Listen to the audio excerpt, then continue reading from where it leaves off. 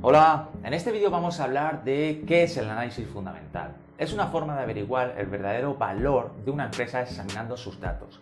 Los inversores siguen de cerca a la empresa para decidir si sus acciones están infravaloradas o sobrevaloradas. El análisis fundamental puede utilizarse junto con el análisis técnico que se centra más en las tendencias del mercado fuera de la empresa. Ya haremos un vídeo de este tipo de análisis técnico. Los operadores utilizan este término para analizar los resultados financieros, el desempeño de la dirección y otros datos económicos de una empresa y ver si hay una oportunidad de inversión.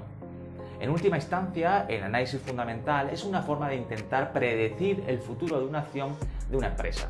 Este método va más allá del precio de la acción de una empresa para valorar su verdadera solidez financiera.